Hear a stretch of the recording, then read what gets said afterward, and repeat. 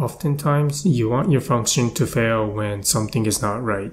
In Solidity, there are three ways to throw an error, which would stop the further execution of the function being called. The three ways to throw an error are assert, require, and revert. In this video, we're going to go over how to use each of them and see how they are different from the other ones.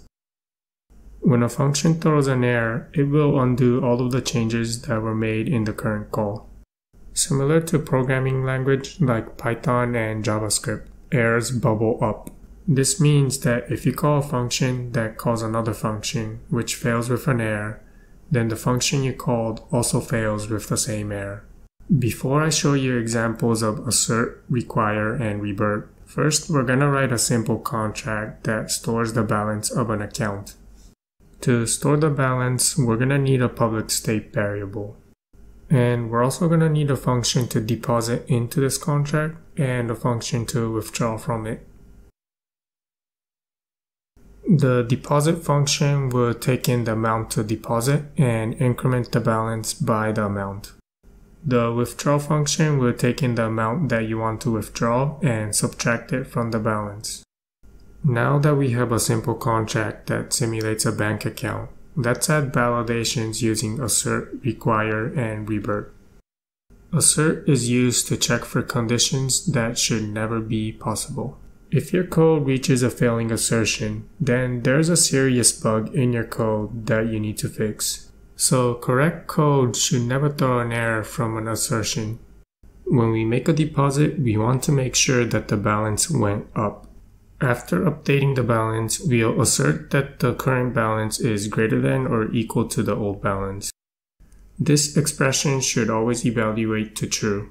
If it does not, then this assertion will throw an error and our transaction will fail. And when we withdraw, we want to make sure that the balance went down. So we'll assert that the updated balance is less than or equal to the old balance. These two assertions should always evaluate to true. However, we can make these assertions fail. Let's see how. First, we're gonna need a very large number. So let's store the largest number possible for the data type uint inside our contract. Next, compile and deploy the contract. Deposit 1 and check our new balance. It should be 1. Next, deposit this very large number and you'll see that the transaction fails. Click on the transaction log.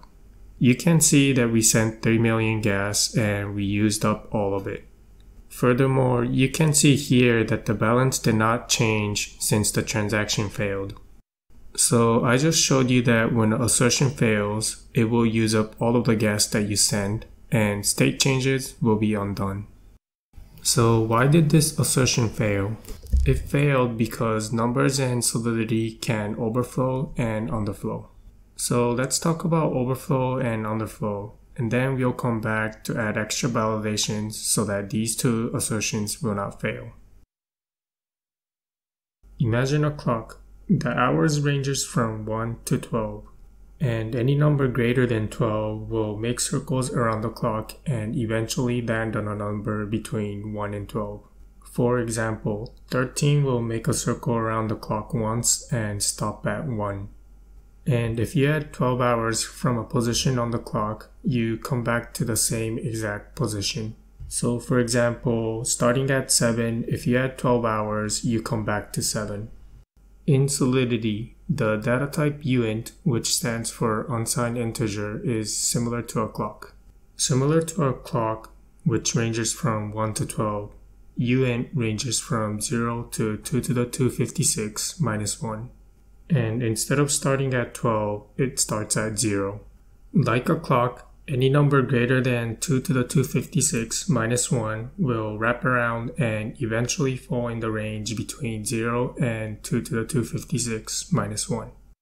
And like adding 12 hours to a time will get you back in the same position of the clock. Adding 2 to the 256 to a number will get you back to the same number. So let's say that x and y are two uints. There is a possibility that the sum of x and y is greater than 2 to the 256 minus 1. In that case, the sum wraps around and starts counting from zero. This is called overflow. So let's think through how we could prevent our contract from overflowing. First, we know that adding 2 to the 256 to x will give us back the same number. Second, we know that all numbers are less than or equal to 2 to the 256 minus 1. So this means that x plus y can overflow, but it can never reach back to x since y is less than 2 to the 256. Therefore, if x plus y is greater than or equal to x, then there was no overflow. And if x plus y is less than x, then we know that an overflow occurred.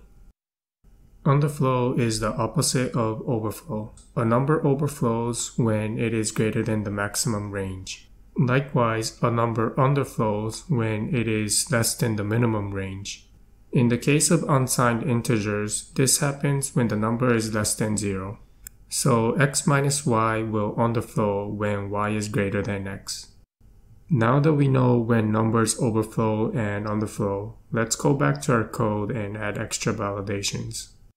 We know that x plus y does not overflow if x plus y is greater than or equal to x.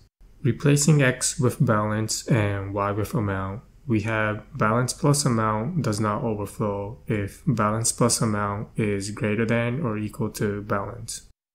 In other words, there was no overflow if the new balance is greater than or equal to the old balance. So that's the extra validation that we need to make sure that our balance does not overflow. But we shouldn't use assert since assertions should always evaluate to true. So this is where we use require. Require is used to validate inputs, state conditions before execution, and to check outputs of other functions. In this case, we're going to check that the new balance is greater than or equal to the old balance before updating the balance state variable. When this condition is not true, require will throw an error and the transaction will fail. Require accepts an optional error message that will be shown when it throws an error. So we'll pass in the message overflow for the error message. If this condition passes, then we'll update the balance to our new balance. Now this assertion should always evaluate to true since by the time the code reaches its line, there was no overflow.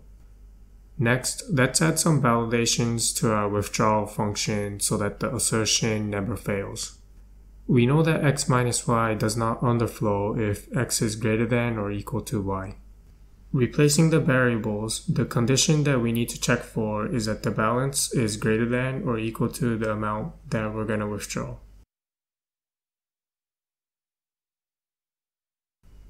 If the code reaches this line, then we know that there was no underflow, so this assertion should always evaluate to true. Let's deposit again and make sure that our assertion does not throw an error. Compile and redeploy the contract. Again, deposit 1 and check that the balance is correct. Next, deposit this very large number again. You can see here that the transaction failed with the message overflow. This means that there was an overflow and our required statement failed. It also means that the assertion below it never executed. When you check the transaction log, you can see that not all of the gas were used. This shows that the assertion was never executed. If it did, it would have used up all of the gas. The way you use revert is similar to the way you use require. However, revert only takes in one argument, the error message to be thrown. So the way you will use revert is to write if statements for invalid conditions. When the invalid condition evaluates to true, we call the revert function. In this case, the invalid condition is when the balance is less than the amount to be withdrawn. When that evaluates to true, we call the revert function. This revert statement does exactly the same thing as the require statement above. Revert might be a better choice to use when the condition to check becomes more complex. That covers how to use assert, require, and revert. In this video, we talked about the three ways to throw an error assert, require, and revert. Assertion should never evaluate to false. If it does, then that means there's a bug in your code. Failing assertion would use up all of the gas that you sent with your transaction. Require is used to validate inputs, preconditions, and other function outputs. When a require statement fails, it does not use up all of the gas. In situations where you use a require, you can also write an equivalent code using revert. But revert is more useful than require when checking complex conditions. That's all I got for this video. Thanks for watching and have a nice week.